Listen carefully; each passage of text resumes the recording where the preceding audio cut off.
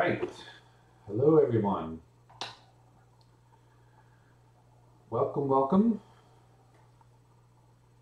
As you come in, come say hi. Let me know that you're here. Hello, hello. Hello, P Fury 1.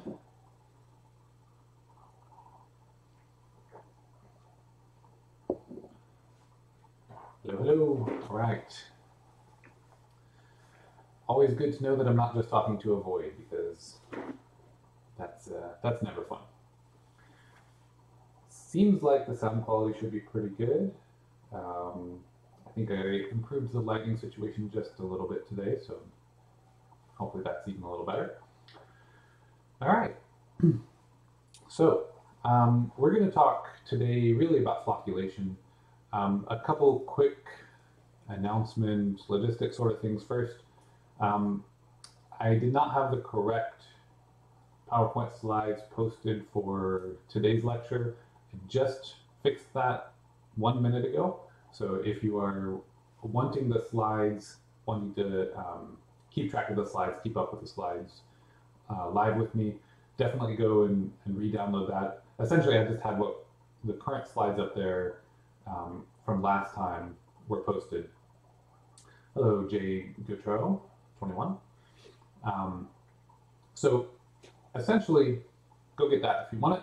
Um, we're going to finish up that slide set, and that'll transition into the next one, um, next set of slides that are now posted up there. Um, one other thing, a quick correction on the homework. One of the problems had a, a value of 1,000, I think it was 650 um, grams per milliliter. It should have been like the other one, the other parameters that you saw in the in the problems, 1.65 grams per milliliter. Um, yeah, problem two, and thank you for um, the person who pointed that out. I did correct it and upload the new, um, uh, the correct version of the homework. so if you have any questions, go download the correct, corrected version and double check. Um, that was on uh, problem two. Okay, so with that, um, this is going to be our last uh, set of slides, last, last lecture material before our first exam. Um, you've got the homework that will be due at the beginning of class next time so that we can go through homeworks one and two together.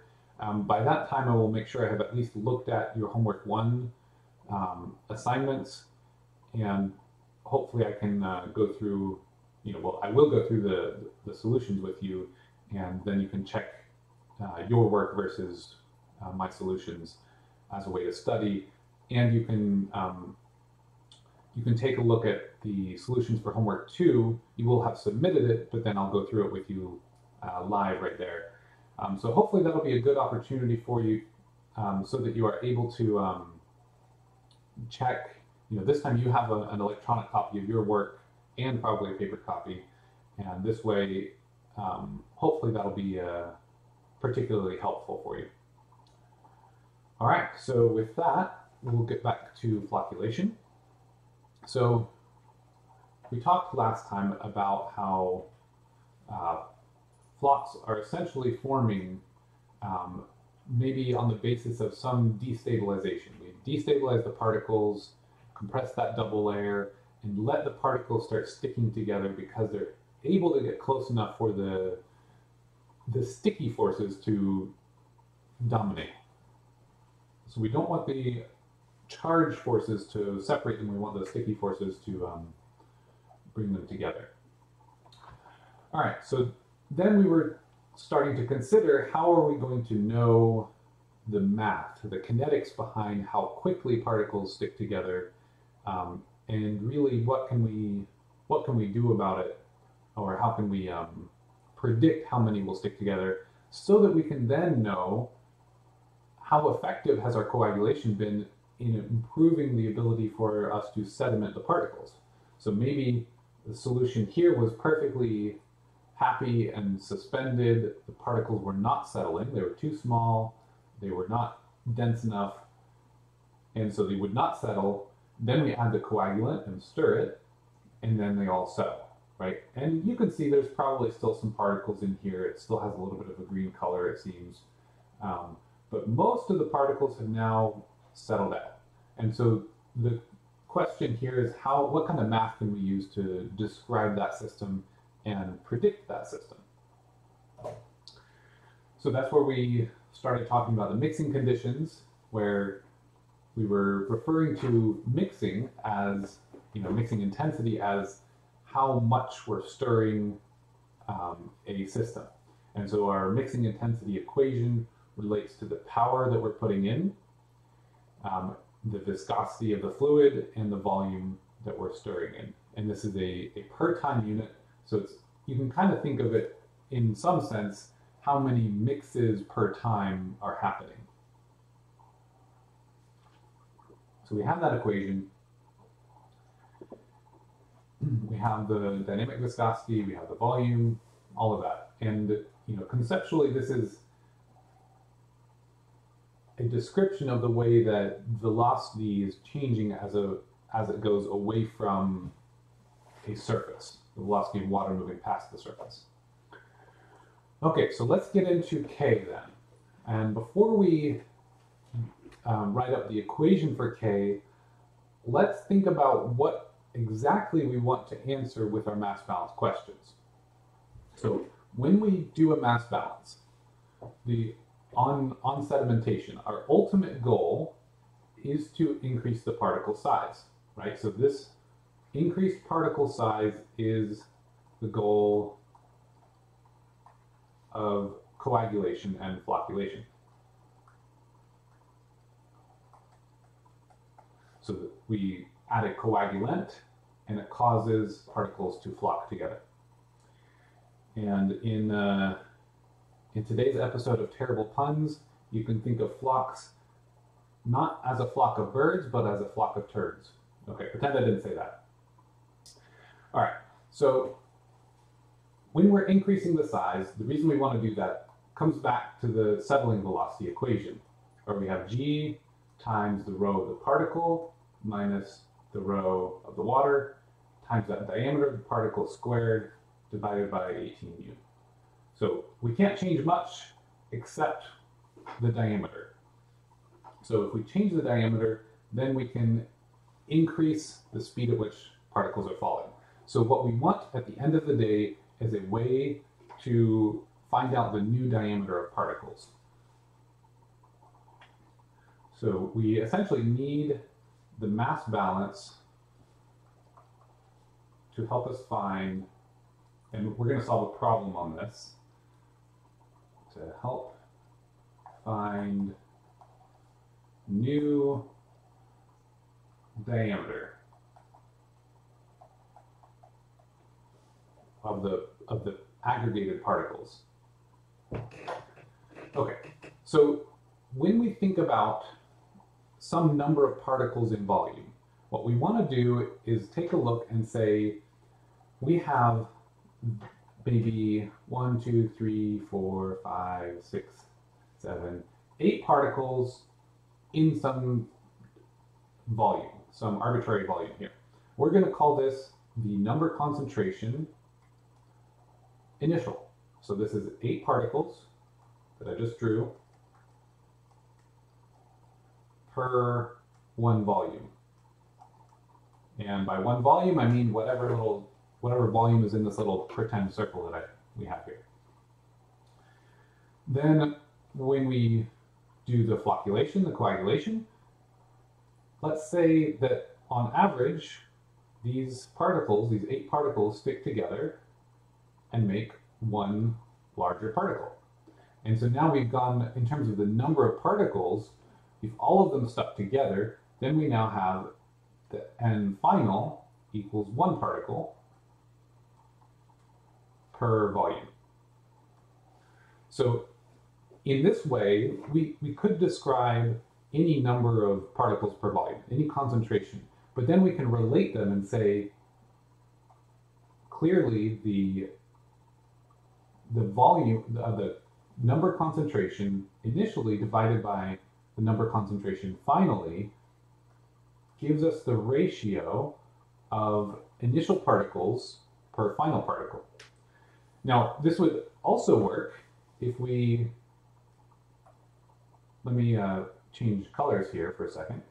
If we added more particles, one, two, three, four, five, six, seven, eight, and we just had a second particle here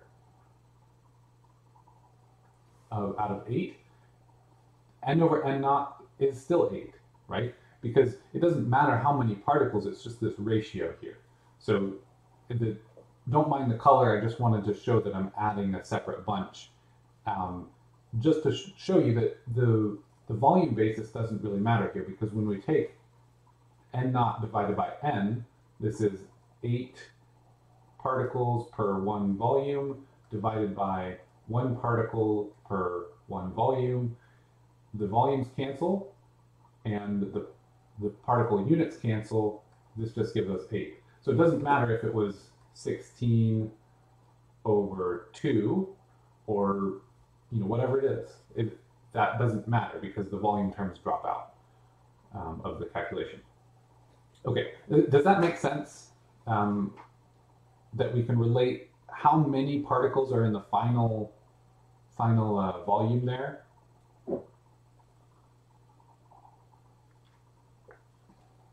I can't see your faces, so you got to tell me if that makes sense. Or if you're a little bit confused, a lot confused, watching something else right now, don't have time for me, you know, gotta gotta let me know here.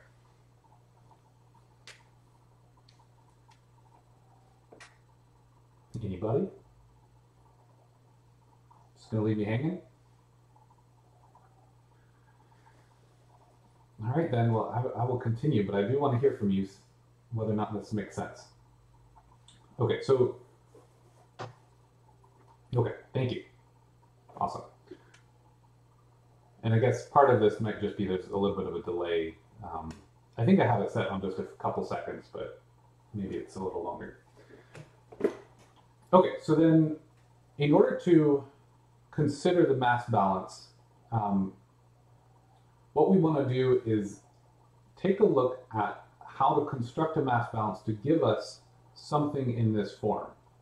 And we've done something very similar before in, in different reactors where we, we've done n over n naught.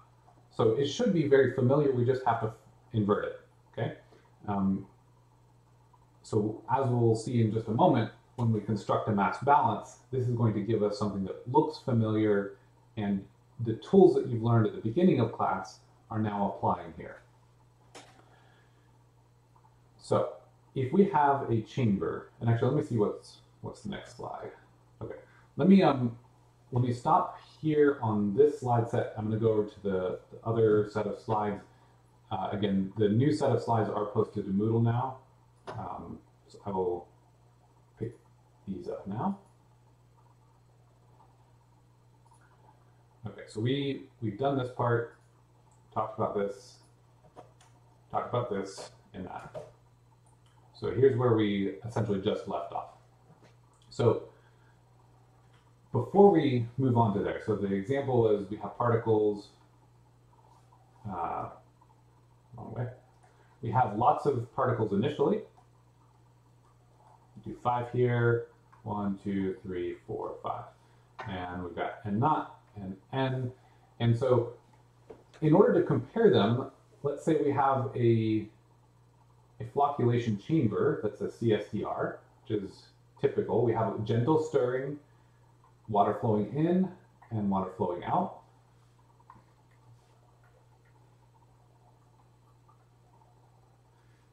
We'll have n naught particles coming in and n leaving, and we have some reaction happening inside there.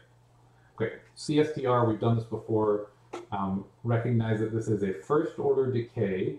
It's first order because it has to depend on the number of particles in our system. And it's decay because we're decreasing the number of particles.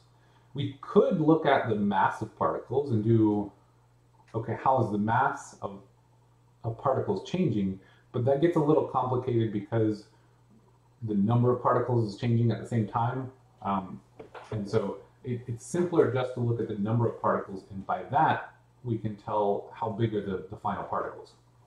So, given that, given that we're doing this decay reaction, we can set up our mass balance at steady state.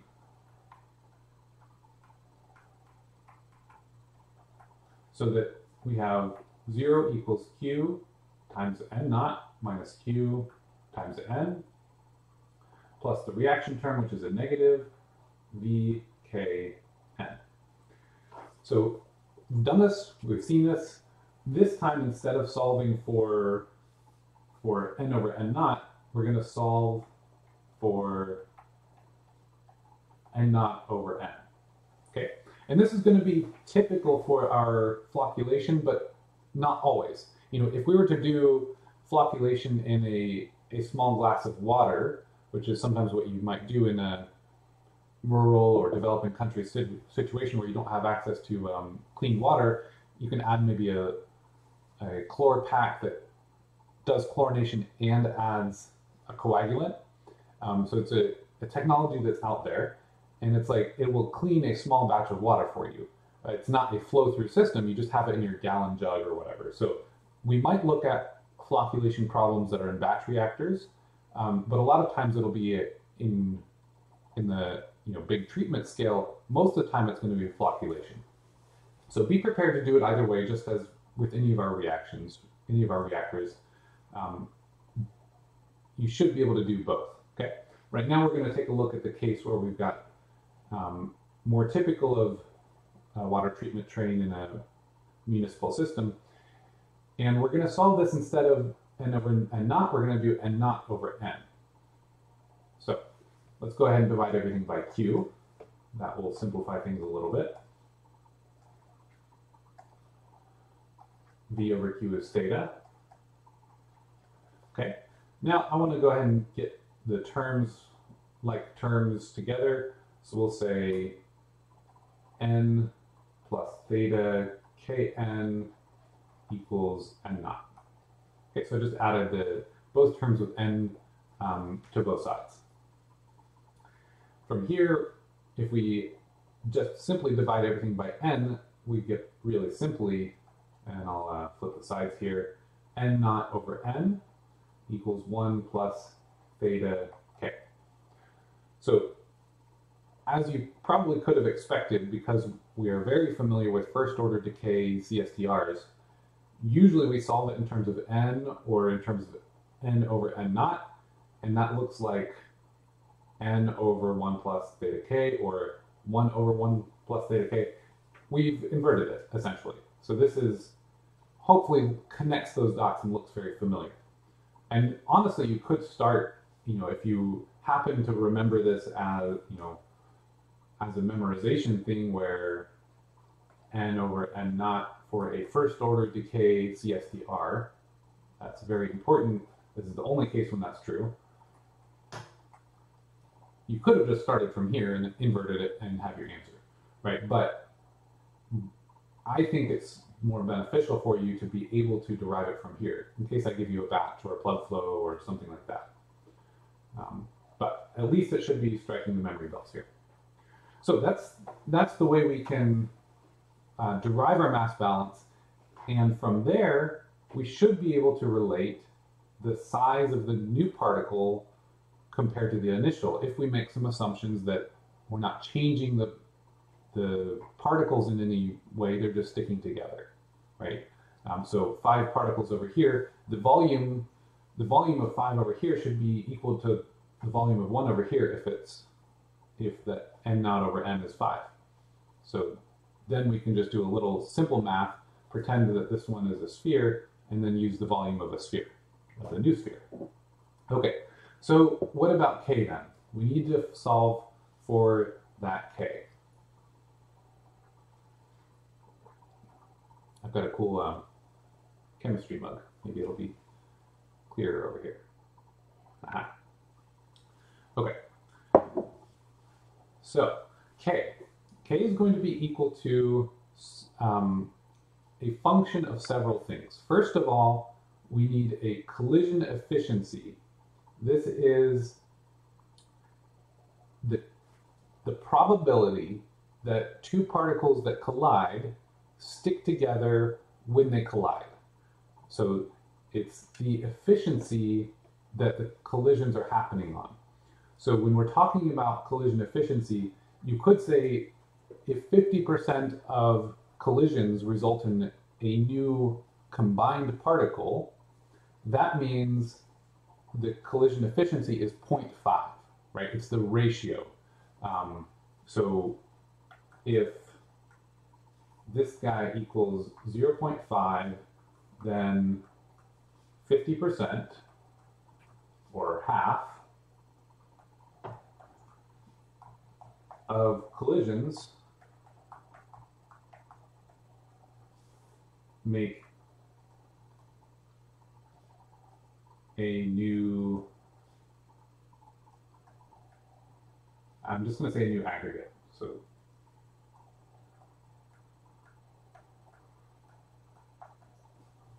Okay, and then this is going to happen multiple times, and eventually we're going to have particles, if we let it go long enough, you'll have very large particles that contain lots and lots of the initial particles. Okay, so then in terms of, so that's, that's the first term, and this collision efficiency is going to always be between zero and one. You can't have negative collisions right? You can't have two particles meet and suddenly there's three instead of two.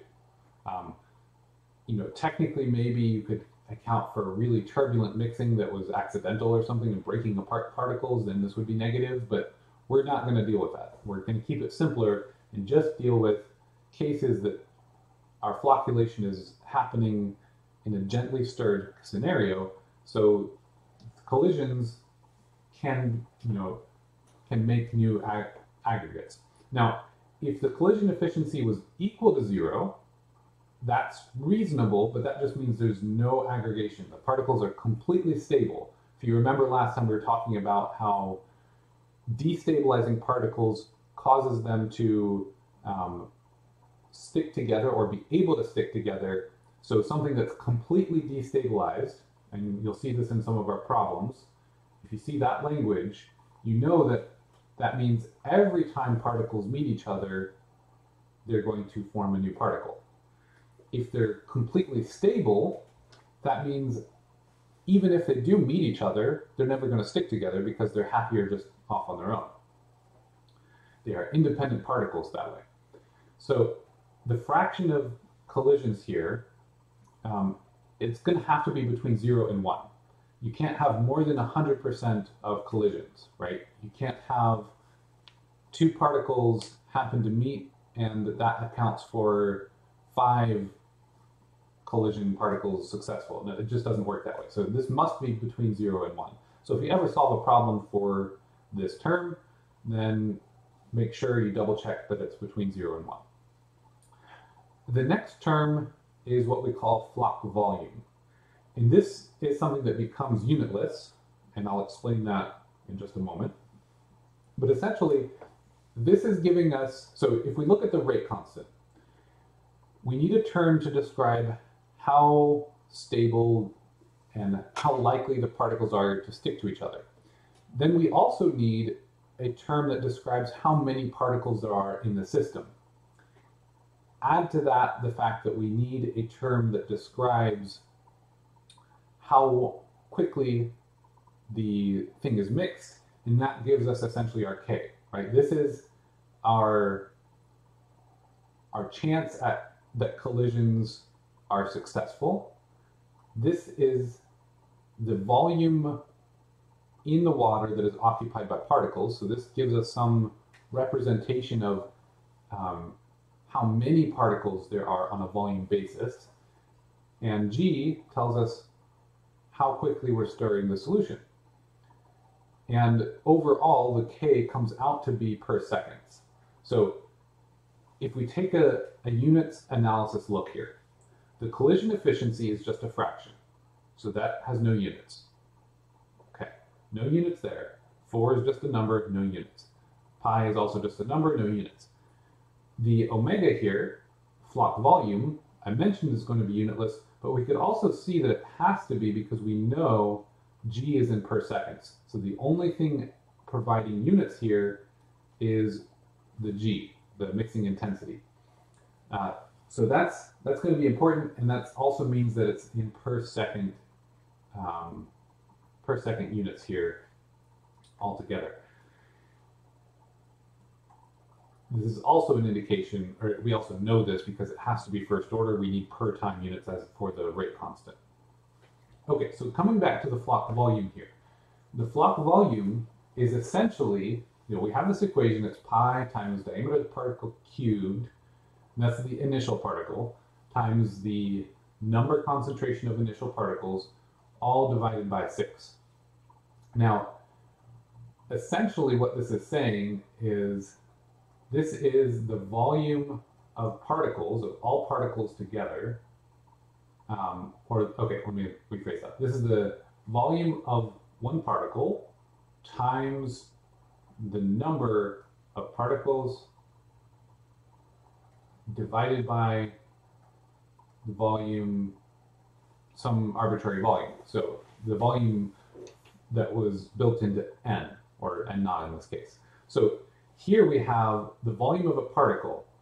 Um, this is, if we assume it's spherical, right? We assume, and I think we already talked about this assumption, but I'll just remind us here. Spherical particles. We're also going to assume that they are discrete until they combine. So we have spherical, par spherical particles here. Then the volume of a, a sphere is simply um, pi times diameter cubed divided by 6. If this will let me write. okay, so that's the volume of a, a one particle. And typically we're going to be dealing with particles that are very small, like 0.01 millimeters or something. So that's going to be a very small number if we convert it to meters. It's probably a good idea to convert it to meters because we're going to have to have a cubic length unit here. And yeah, you could convert that to, to liters, or it, it might end up making sense just to make sure you're in meters here, and then you convert the volume here into meters as well. So, so the VP here is that term, and then we have n naught as this term. Okay, so that gives us the volume of one particle times the number of particles divided by the total volume we're looking at. So if I were to say I've got 2 million particles floating around in my aquarium, that's 2 million divided by 28 gallons, that's my N naught. And then I tell you the, the volume that one particle occupies, you could calculate the floc volume or the particle volume of that aquarium and you'd have to convert so that you have the you know you could if you wanted to convert the floc volume into gallon units and then you would have gallons per gallons in this case i'm going to recommend that you always work with cubic meters so what you'll end up with is volume of the particle is cubic meters times some number that's unitless divided by cubic meters. Um, so ultimately, you're you're getting um, you're getting a unitless number that is like cubic meters of particle per cubic meter of water. And as you might expect here, this number should be very low, right? There's a very small amount of particles in my aquarium. Um, we, we can see that. It's relatively clear. So in terms of the, uh, the particle loading, um, in most cases, this is going to be a very small number. Uh, and just as a reference, This is usually less than 10 to the minus fourth, uh, just in my experience from uh, equations we solve in class. To get anywhere close to a one-to-one ratio, a one-to-one ratio here would mean all of the volume is occupied by particles. So even at 0.5, if, if the floc volume was 0.5, half of the volume of that you're looking at is occupied by particles. That would be a really, really thick slurry, and you would almost call that, it would almost be less liquidy than mud, right? Would, you get you'd be getting to a point where it's it's more like dough or something, I guess. So certainly this is going to be a small number. Um, often I've seen 10 to the minus 5, 10 to the minus 6, or 7. Just depends on how big the particles are and how many you have in there. Okay, so just kind of have it all out here again cleanly um, with, you know, with everything written out um, specifically. Okay, so let's do a problem. And again, as always, this is a good time if you want to pause um, and work it out on your own, or just come back to it later and do that. Um, I'll read the problem, I'll kind of introduce it, and then we'll solve it together in the next page. Um, and it's a good time uh, for you to take to, to, practice this on your own if you like, or um, follow with me. So Example 6.2. We've actually already solved 6.1 uh, previously. So to improve their settling, the 0.01 millimeter silt particles in that previous example are completely destabilized. And in that problem, if you remember, we weren't able to remove all of them with sedimentation. Okay, so we tried, we checked it out, and not all of them were removed was the answer. So here we say we're going to completely destabilize them so make note of that language here. If I can find my cursor. So we have complete destabilization by adding alum. Um, and this is passed after the destabilization in that coagulation dosing. Then it's passed through one of two side-by-side, well-mixed flocculation chambers. The chambers are cubic, each with the dimension being three and a half meters. They are mixed with paddle mixers that input two and a half kilowatts of power into the water in each chamber. The water entering the flocculation chamber contains 10 to the fifth particles per milliliter. And then the question is, what is the average diameter of the aggregates leaving the flocculation chambers? Okay, so take a moment, think about that. I'm going to solve it with you what I'll probably do, and I just have it repeated here, a little more space to work with. Um, what I'm probably going to do here is um, work quietly for a couple minutes, just writing out um, different components and drawing the diagram. Um, so if you want to pause, go for it. If you want to just work on it on your own um, and just look up as you need guidance, that, that might work too. Um, I always recommend that you you approach it by first drawing the system. Um, that way you you make sure that you know what you're looking at. So draw the system, then write out the known components and look at what pieces of information you still need before you can solve a mass balance to get to a point where you can analyze the average diameter of the aggregates.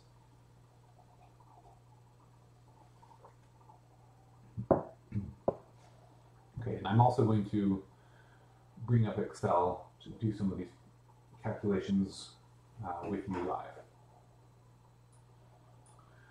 Okay, so let's go ahead.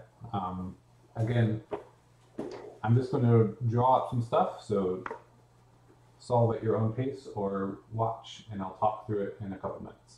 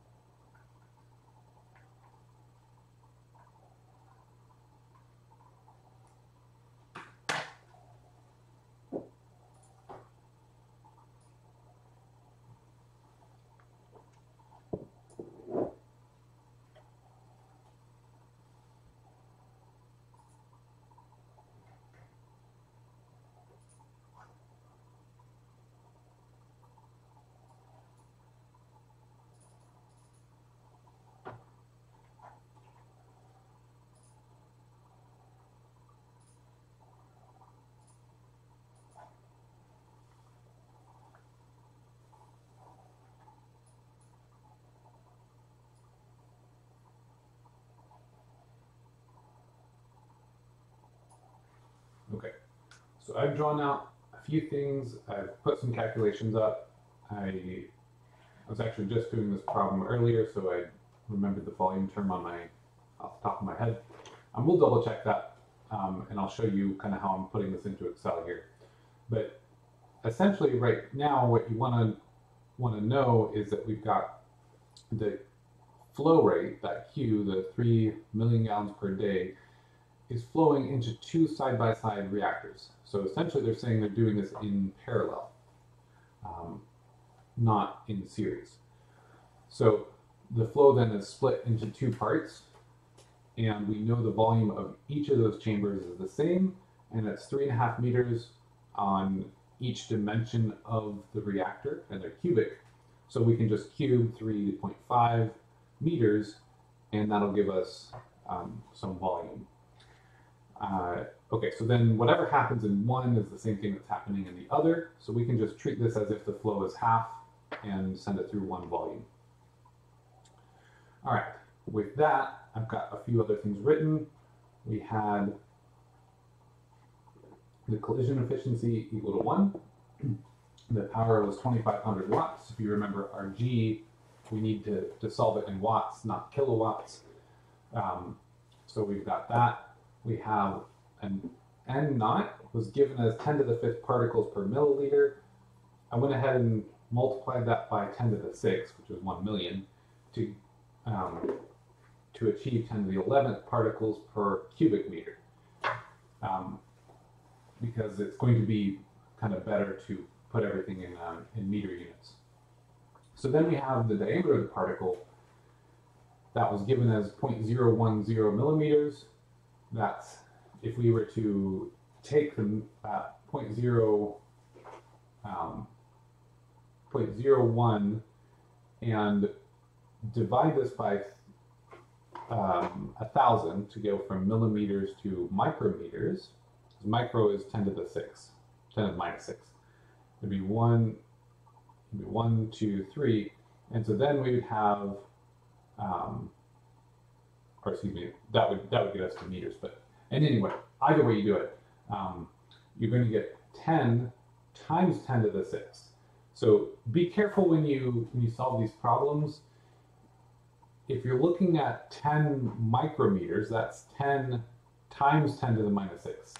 One micrometer is just 10 to the minus 6 meters. So be careful when you're converting that you don't confuse having a 10 in front of the 10 times 10 or a 1 here, a 1 or a 10. Obviously, that makes a difference when you are thinking about it, looking at it. But when solving a problem, sometimes you might take a shortcut and say, you know, instead of writing it this way, you just write 10 to the minus fifth. It's the same thing, um, but just make sure that you're cognizant of which one you mean in case you you say 10 to the minus 6 when you're trying to do that shortcut, but you forgot to leave the 10 out there. So just be attentive when you're solving that. There's a, I might be quick about it, and I don't mean to um, confuse you there. Okay, so with that, I'm going to put in a few of these calculations into Excel. Um, again, feel free to continue solving on your own. While I do this, there's plenty more to do in terms of getting to the, the end result.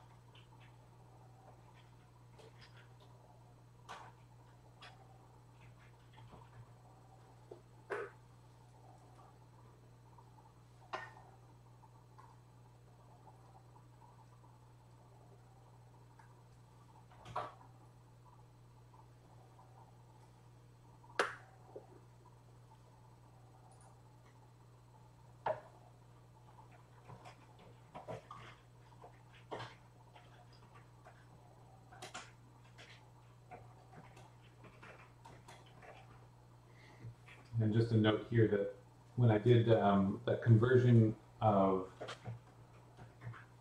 the n naught to um, to cubic meters, I multiplied by a thousand to go from milliliters to liters, and then by one thousand more to go, excuse me, from liters to cubic meters. And that's where I did that part. So now let's uh,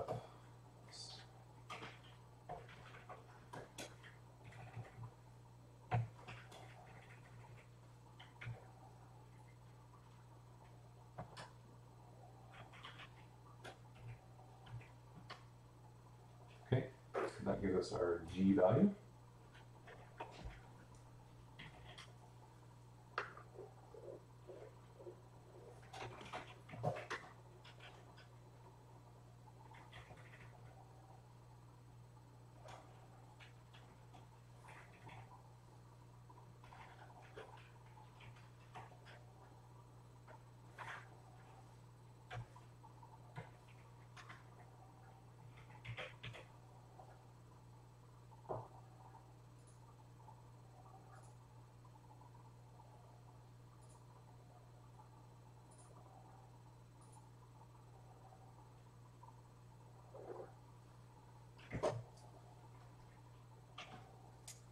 So let me just go ahead and write a couple of these things down for you.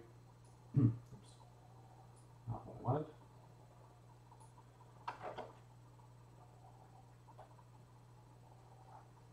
All right, so we solved the G as 225.7 per second.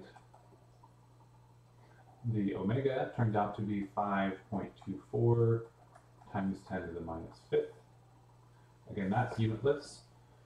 Um, k, now we have everything we need to solve for k. Yes, um, I will come back to that in just a second. Um, so we have everything we need to solve for k, so we'll do that in a moment. But at this point, we have basically everything laid out. Okay, so the way I solved for q, and this was really um, one of the, I guess, uh, tricks of the word problem given here. Um, we were given that in the, uh, and in fact, I think this might have been provided in the previous problem, and so I should have done a better job reminding you of this. But in the previous problem, we had three MGD total.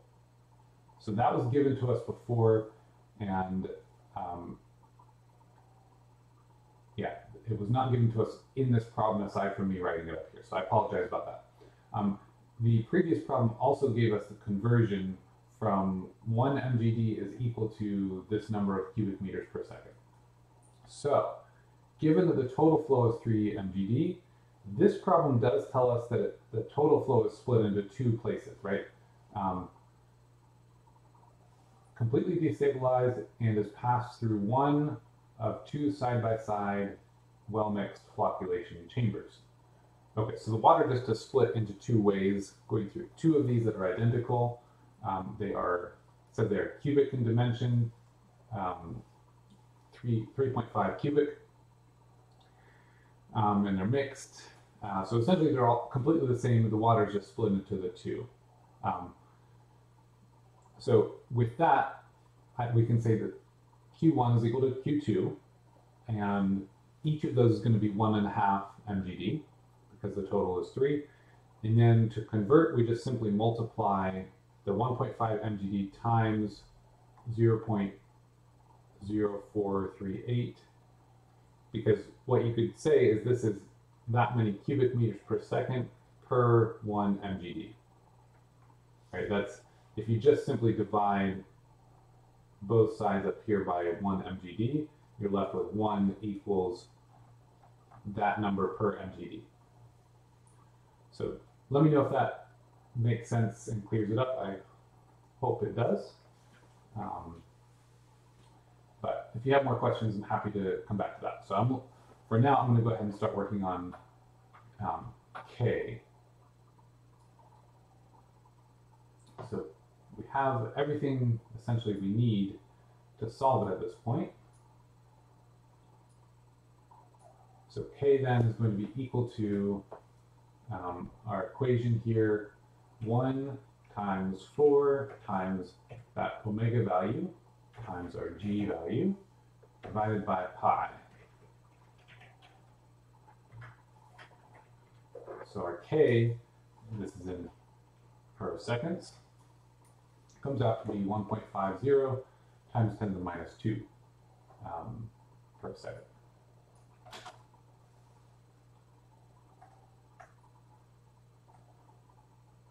So we could just write that as 0,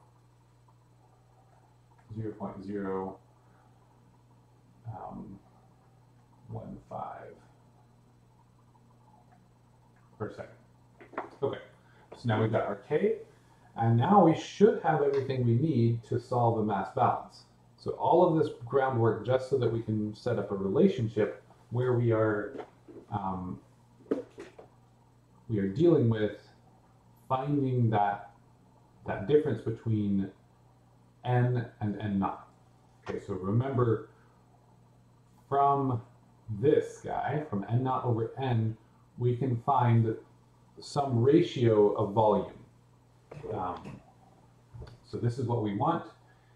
And so again, we, we did this just a few minutes ago, but 0 equals q n naught. And this would be, we'll use, we'll just select one of these because the same thing is going to happen in both. So we'll just take a look at one of them. So q n naught, we'll say that's q1 n naught, minus q1 n minus v k n. This will simplify as we showed earlier to n naught over n1 is equal to uh, 1 plus theta, I'll say theta 1, k. Theta 1 and theta 2 are the same um, because the, the volumes are the same and the flows are the same. Okay, so that's our equation. And given that we have all of these things, then we can figure out um, how, how many initial particles are in each final particle. Uh, I didn't mean to so when we do that, we'll come back over to Excel here. And we can say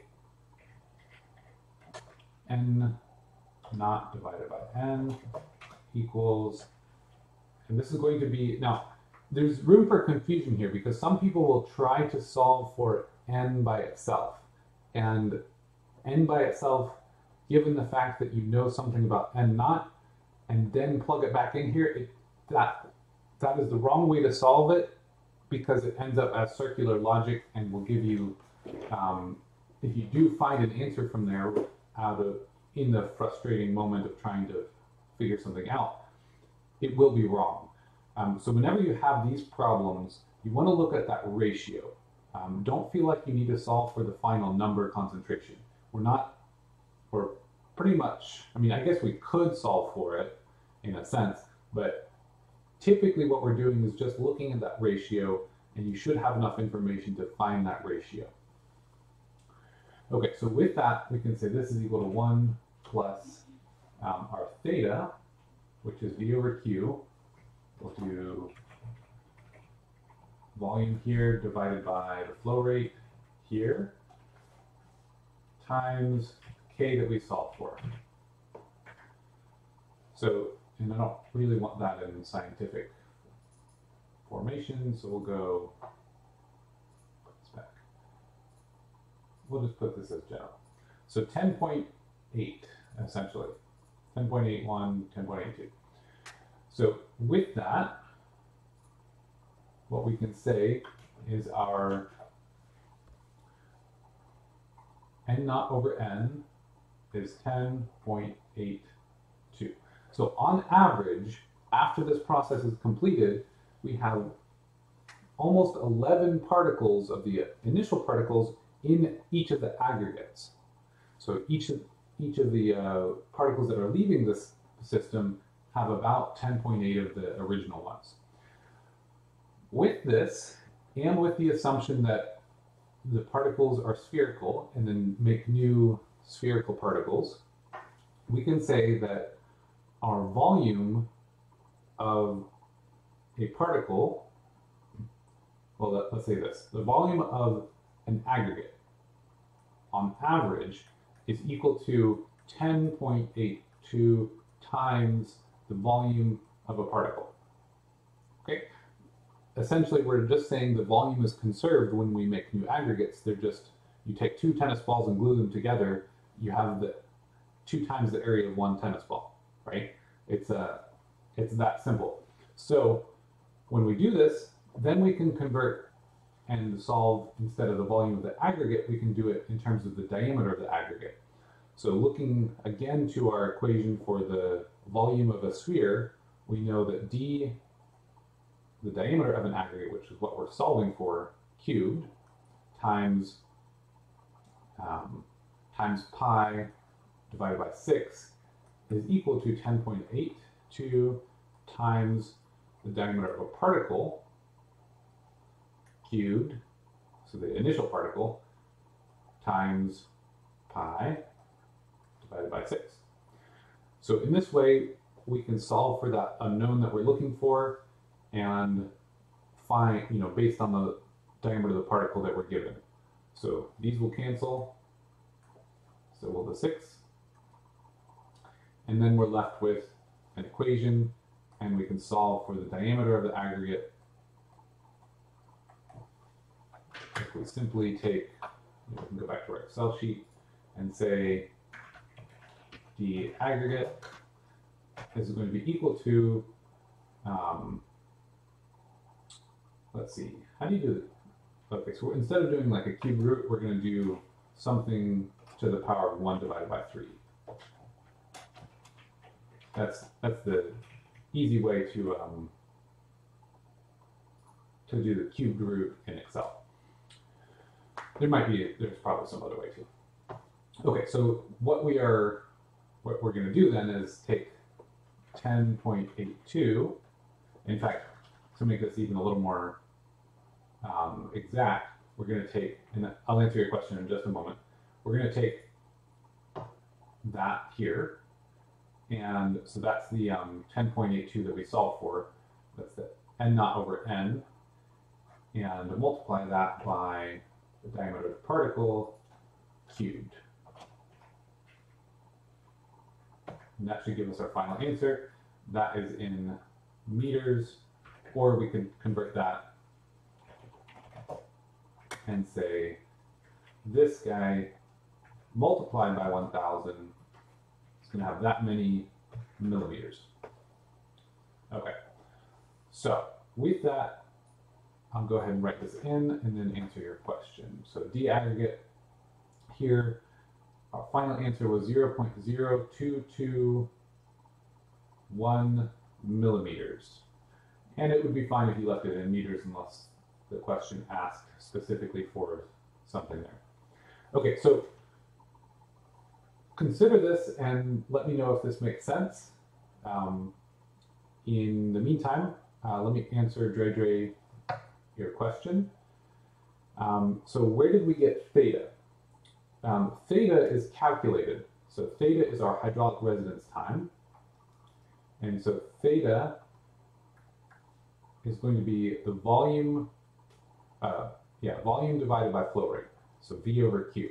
So theta um, came up when we divided, so in this equation, we can divide everything by Q as we're simplifying. So this goes to 1, this goes to 1, this becomes V over Q, which is theta. So that's where our theta comes in, and we need the theta.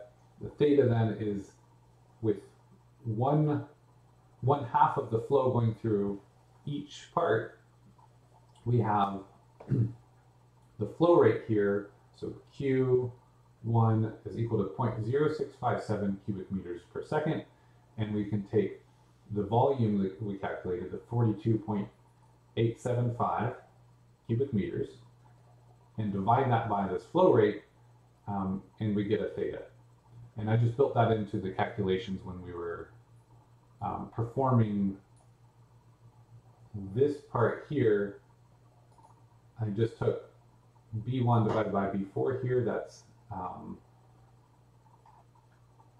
B1 is the volume divided by B4, which is the flow rate. So that's the volume divided by flow rate. So I just built it in there. We could have we could have solved it separately said theta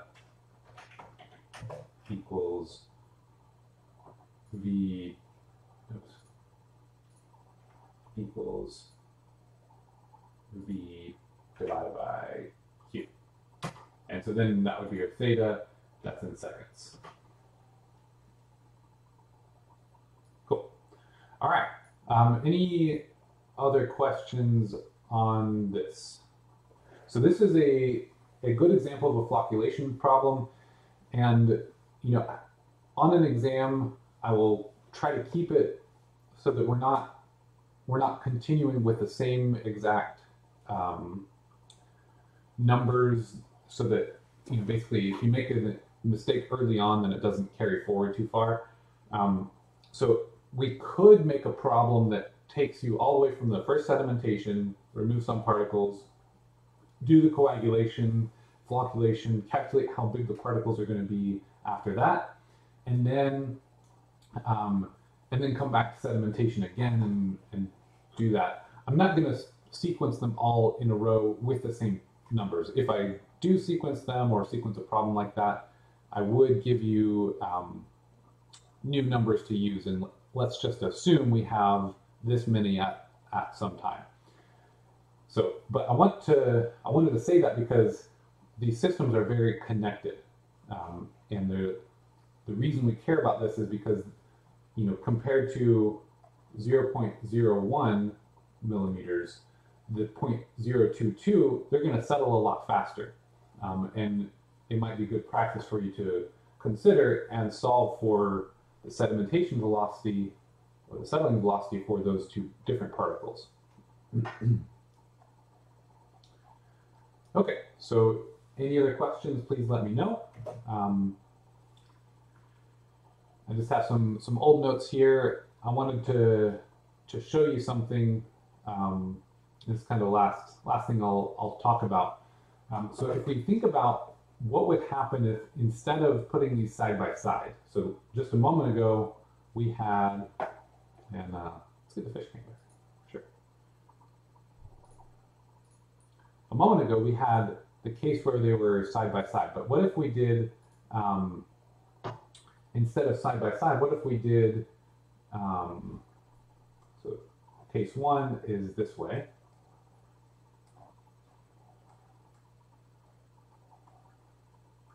And instead of that, we could do, we have flow going through and we, we have a box here and then another box and then a third box or something. And sometimes I, I do assign a problem like this. I think there's one in the book that's kind of like this. Well, one thing you could see here is in this case, in the top case, it's kind of like you just have one larger reactor and that's it. Um, in this case, we have um, something different happening because we're growing particles here, and then we're taking, you know, if this is our N naught, then we have an N1 here that's acting as the final from this one and the initial for this one. And then an N2 that's doing the same thing, and finally N3 is our last one. And then Q, of course, would be consistent across all of them. So in this case, um, you know, we could compare the difference between a, a parallel versus a series type reaction. Um, so, you know, looking back on those calculations we just did, I have written up here again, um, you could potentially compare what that would do if you had three different reactors in series. Um, so I think I mentioned this before, but if we do reaction reactors in series, you can use this n naught and n1 and sequence them. And when you multiply them across, because that's essentially what you have to do, you're multiplying that 1 plus k1 theta 1 times 1 plus k2 theta 2. If you go through this, you can end up getting n naught over n3. So you could solve for the, the number of initial particles to the whole system, to the final system, even if you have several reactors in series, you just need to put the mass balances in place.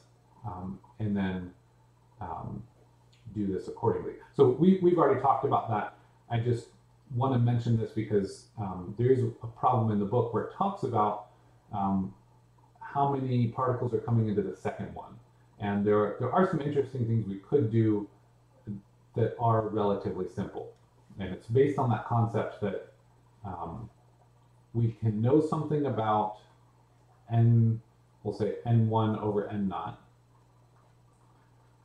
We can say that's equal to um, 1 plus theta, whatever the hydraulic residence time for that first one is, theta times the reaction in that first one. We also know that that same generic logic, theta 2, k2, um, so really just getting you to think about this in terms of practically speaking what this could look like. And then if we wanted to know some information about number three, the way to get there would be to multiply this term with this term and then also with this term. And then we'll see a bunch of things cancel out and then we have something that relates N3 to N naught. And that's that's just what I what I had drawn up here um, previously. Okay, so I think that's I think that's it, all that I wanted to, to talk about. So um, if there are any questions, I'm happy to answer them. On Tuesday, we will be we'll be going through um, both homeworks. We'll be solving them in class. That's why I'm asking you to submit the second homework assignment before class um, for that exam review. Uh, in the future, for exam two and for the final exam, I'm basically going to have one homework for each of those exams. Uh, this first one, I, I felt like we need a, a broader foundation with chemistry review, introducing all the mass balance stuff, and then going over a couple of the simpler um, components. So in the future, it'll just be one homework assignment, and that'll be due essentially the class period before the exam which at which time we'll also do a review. Okay, so I'll be here watching for questions for a couple minutes. I'll feed my fish, provide some more entertainment, um, and just let me know if you you have questions. Otherwise, we'll see you um, see you next time.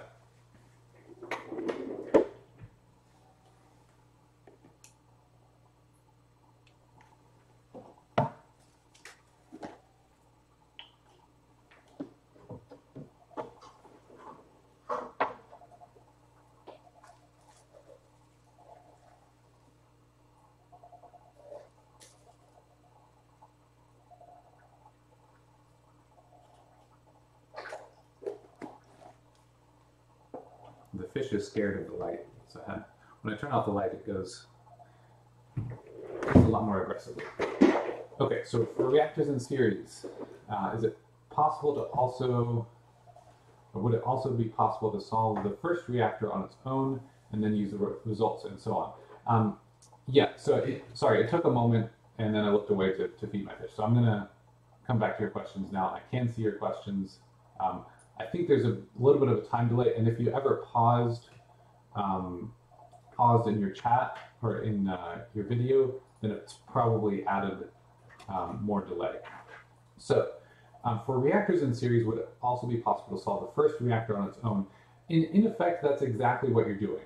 Um, so yes, my answer to that is yes. And what I'm going to say is when you when you do this in series, and you're multiplying them across, you could exactly say n1 over n naught. Let's say that's, let's say you get 10, um, n1 over n naught equals 10, let's say. Um, and then in this next one, you would you would need to use your answer here. Well, you don't have to use your answer here, but you're going to, um, since you for the second reactor, you might not know the information you need about N1 yet until you solve that one first. But essentially, yeah, the, the thing is you can um, you can you can do that. Yeah, as you said, you can use that result to solve the next one. Um, it becomes simpler to just combine them and multiply them all across. Um, as you see here, it's probably simpler to just go ahead and do it all at once. But yeah, it, either way, algebraically, it, it, makes the same amount of sense um, in both cases. Okay, so the next one, when studying for the first exam, should we focus on problems from slash similar to homework assignments? Uh, yes, what I'm going to say is I, especially with the online mode, I do need to make them a little bit different um, to make sure you're not just copying something else that you've um, seen already or, or, whatever. So in that way, I'm I'm going to make it the same scope uh, in terms of what we're solving here or what we do on the homeworks. You're going to use the same skill sets, right? You're going to be using mass balances to critically look at problems and solve um, for the uh, uh, for the different pieces. And um, what you need to do is make sure that you, those skills are in place. Can you derive a mass balance? Could you get this portion for a series of batch reactors where you're taking a batch reactor, letting it run for some amount of time, dumping it into a new one, run, letting that one run for a certain amount of time, and give me an answer, right? Can you formulate what that looks like? So you need to be able to use these skills and adapt them to different conditions, but the scope is going to be the same. Um, the skills that you've learned will be uh, exactly what you need for these. Um, now, I can't teach you all of critical thinking, so there's it, going to be times where it probably stretches you a little bit, and it's by design that I'm going to make it a little bit challenging, at minimum a little bit challenging, so that I can see really what you've learned. If I make a mistake and make it too challenging, I'm going to come back and um, make it fair in terms of the way I grade. And that has happened before. Um, I will apologize if that does happen, and I'll. I, my goal is to grade based on what you've learned. Okay, a um, couple more questions here. Do we take the exam in person? No, it'll be online. Um, I'm going to do it a lot like the homework, except you're going to have a very specific window of time. You're going to um, you're going to have the file posted at let's say uh, 11:55 Central Time. You'll have the full class period, and then I'm going to add a few minutes to the end in case there's any technical difficulties, and so you'll have to submit by 1:30 or 1:35 or something like that. Give you some time to scan your work, to enter them, enter your uh, entries into the system, and give you time to email me or contact me if you're having trouble with something. So I'll give you more instructions about that, but it's going to be kind of like a take-home exam, but with a specific time window. Um, normally I give you equation sheets and a periodic table and stuff anyway, so that's going to be my plan. And then um, I, I, did this last semester and it, it worked out pretty well uh, for the final exam last semester, um, where I'll, I'll do some work on the front end to make sure that it's not something you can just Google and or Chegg and find an answer or whatever, um, so that it's fair, um, fair as best as that I can. You're held to the honor code, and it's challenging enough so that I can see your thought process of uh, trying to solve the problems. So that's um, that's what the exams will be like. Um, the exam, uh, it's a good question. So let me pull up our syllabus here. And I see another question. I'll come back and answer that in a moment. All right, so exam one should be a week from today. So today, I think you can see this, right? So today is the 4th. Um, the exam will be a week from today. And by the way, there's going to be some more instructions in the syllabus on the exams.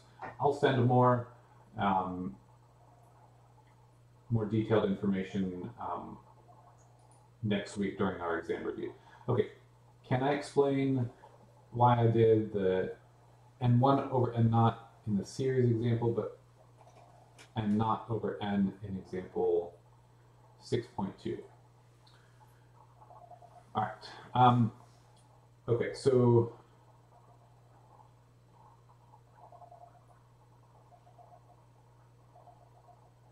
okay, so I did, you said, can you explain why you did n1 over n naught?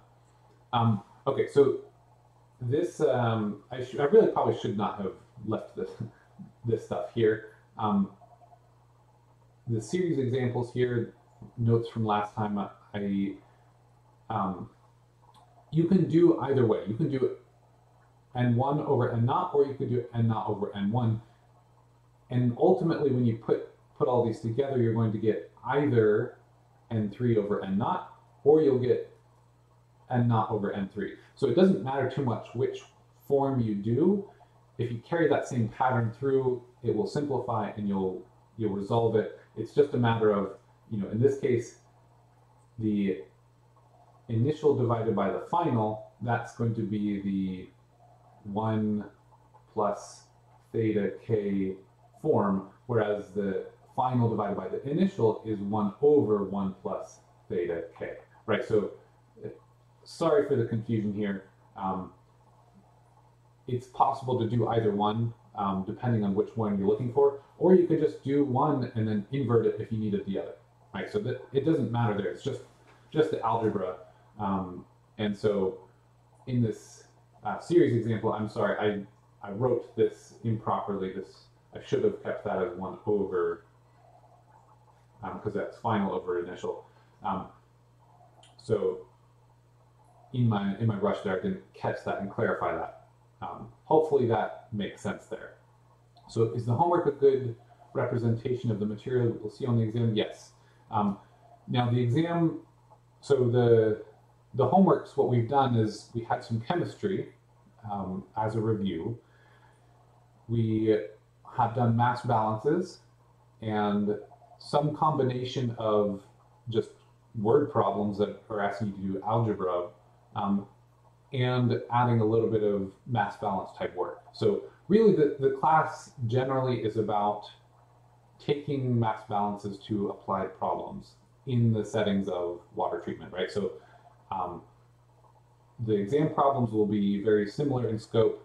Maybe I will focus in and have several points on one thing to make sure you, I can see how much of that topic you understand. Um, but again, I, I do give partial credit on the exams and um, the uh, the homeworks and the problems we solve in class. You you know if you were to compare the homework problems and then look at the example problems, there's probably some differences, and you might feel like one is harder than the other. That's not my intent either way. The same thing will happen with the exams, right? The sometimes I'll make an exam and it'll be a little easier than I meant to, or something. Sometimes it'll be a little harder it's the same skill set as the point, and it's going to be um, it's going to be uh, really testing the, those knowledge sets. Okay, so um, tests on chapters one, two, and six, yes, and we're going to spend a lot of time in chapter six. So chapter six is probably going to be on most of the um, most of the exams in some form or another. Chapter six is really the water treatment. One and two is mass balance and chemistry. Um, chapter five will be in for the wastewater because that's like what happens to the the wastewater downstream in like a river. So we'll we'll essentially be in chapter six and then chapter five a little bit um, towards the end. Am I going to give any bonus problems? Um, I might. Sometimes I do. Um, it's not too common. You know, maybe if I had a, a fun idea for a challenging problem, but I thought it was too challenging, that's a case where I might, but um, no promises there. Uh, good questions. Anything else? Anything that I missed?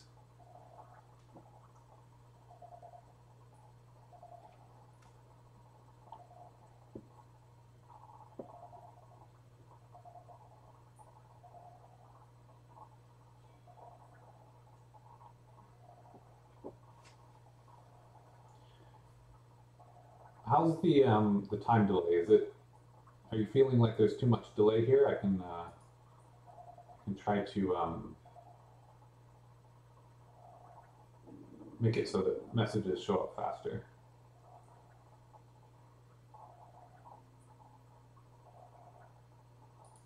I'm not sure that I can, but might might be able to try.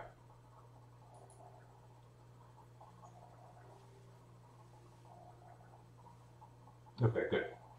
So I just saw that the delay isn't very long um, as a reference. Okay. So part of the problem was I was feeding my fish, being being irresponsible during class, right? Okay. All right. Well, I don't have anything else for you, and it seems like there's not too many other questions. Thanks, guys, for uh, getting back to me, helping answer that question. So I will end here, and I'll see you guys on Tuesday. So be sure to be thinking of questions in case you have any for for the exam, any problems, particular issues you're having with the homeworks. Um, that'll be a good time to, to ask them. Otherwise, have a good weekend. We'll see you later.